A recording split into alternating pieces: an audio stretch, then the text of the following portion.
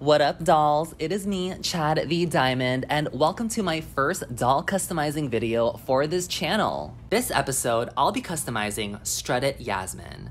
I'll keep her face unchanged since I'm still practicing on how to repaint faces. I'll be giving her cerulean hair with some light blue highlights to both complement and enhance her eyes, and dressing her in an all black look comprised of a cropped vinyl jacket with a black fur trim, an adornment of harness straps up and down her legs, stomach, and bust, taking huge inspiration from this creepy Yeha look. For accessories, silver hoop earrings, and for shoes, I'll be giving her black pleaser-esque stripper boots. You know, just a simple outfit for church on Sunday morning. Let's begin by shaving off all her hair close to the plugs as possible to make it easier to scrape the glue from inside her head. High bald. Then pop out the head.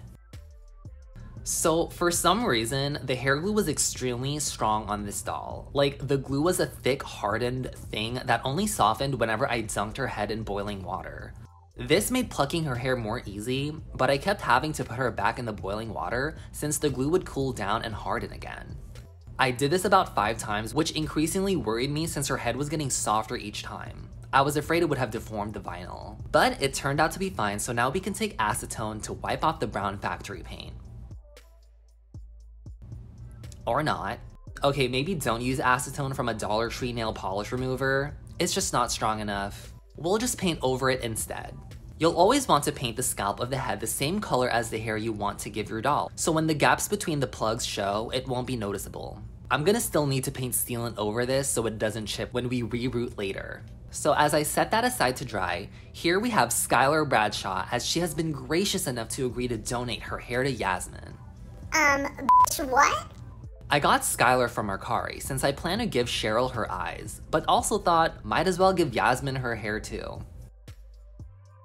Since this was my first time rerooting doll hair, I practiced on a couple of plugs to get a feel for the process and actually ended up running into a little puzzle. The shorter stalk of hair on the left is what you get when you do a normal reroot since when you reroot, it's the middle of the stalk of hair that gets folded and wedged into the plug. But then you lose half the length of hair this way, and I want this doll to have hair past her knees. So I figured to just fold the stalk of hair closer to the ends, but then part of the rooted stalk sticks out awkwardly short as you can see here.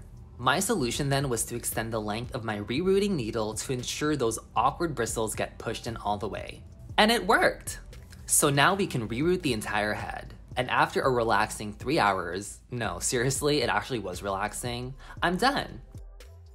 Don't mind the tangled mess at the bottom. They're just the strands that didn't get plugged in, but stuck onto the hairs that did. We'll brush it out later. It was so exciting seeing her even at this stage since I got to imagine future dolls that I want to reroot and the way it just transforms a doll's look. Let's glue the hair plugs using Fabri-Tac.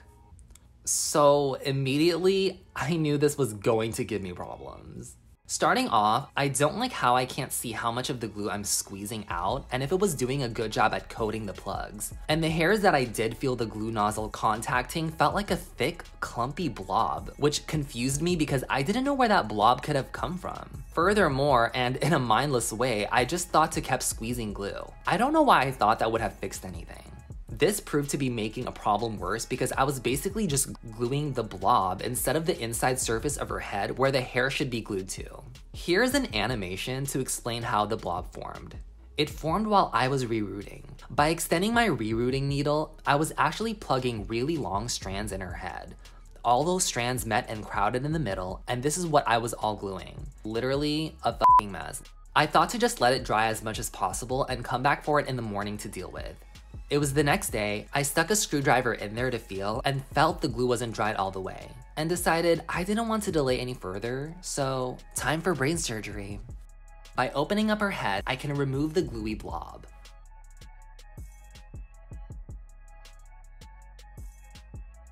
This is so gross, but getting to remove it is so satisfying at the same time. And this is the blob. It's almost as big as her head. So now I can glue these plugs and be assured I'm hitting all of them because I can see. After a day, her hair is glued in place, and I can close the incisions with Gorilla Glue. I was so excited to finally get to wash her hair and detangle everything. That whole glue fiasco had me a little anxious, and I was just hoping that in the end she would look like no mishap even happened. For her hairstyle, I had planned to give her a high ponytail and making it look extra long by doing the double tie ponytail trick. This is where you start by sectioning the back part of the hair to tie into the first ponytail, and then sectioning the front parts to form the high ponytail that cascades over and blends in to hide the first ponytail. But unfortunately, I didn't have enough hair to work with, so she just ended up looking like a deflated Ariana Grande. I gathered her hair in a high ponytail and used a section to wrap around the elastics, gluing it in place. Yeah, this is not a hairstyle I'm planning to undo. Oh my god, and now that her hair journey is through, girl, we can get to making her outfit. Like I showed in the sketch earlier, I wanted to recreate something like this creepy Reija harness galore piece. That's what I'm calling it. So I start by taking this roll of shiny vinyl and cutting it into strips of varying lengths that I guesstimated to wrap at differing points on her legs. You can also measure her legs for how long you want the vinyl to be if you want to take the guesswork away. Then take a jump ring and feed the PVC strip through to hook over. Dot some Gorilla Glue, then press down. Then grab a hair clip to secure it in place while it dries. I decided to embellish this harness with 5 jump rings, but it's up to you. When the glue dries, hook over the PVC again on the other side and repeat the ensuing steps mentioned before. Repeat these steps until you get something like this. As you can see, each harness is detailed a little differently depending on how many jump rings I put and how I arrange them. I am so pleased with these. It's definitely several steps up from the body harness I made half a year ago on this other doll. Back then though, I just glued it onto her body. I wanted to make sure I was able to take these new ones on and off in case I wanted to dress up a different doll in them.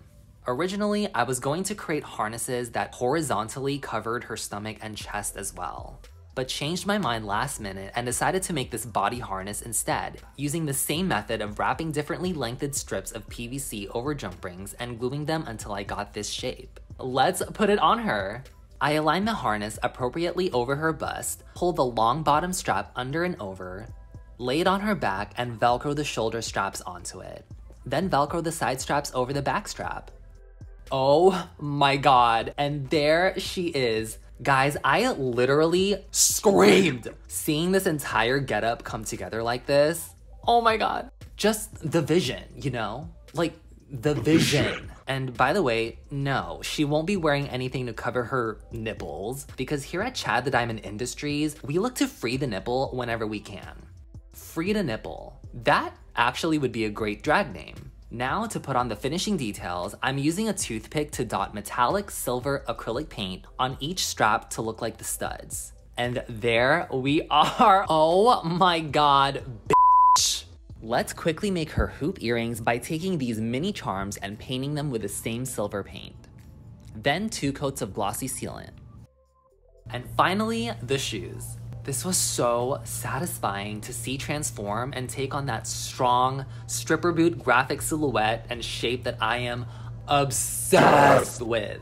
So I was initially going to just have these be just a simple black boots with gloss varnish over it, but then I thought these shoes would have been a flat note when paired with the details of the rest of her outfit. So I bust out the metallic silver paint to add some drama.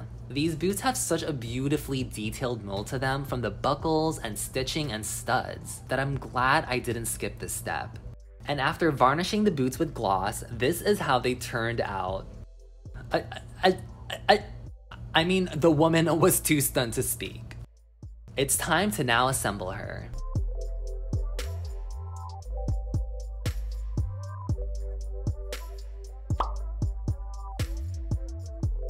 I'm heating up her neck hole to soften the vinyl for an easy plopping back on of the head.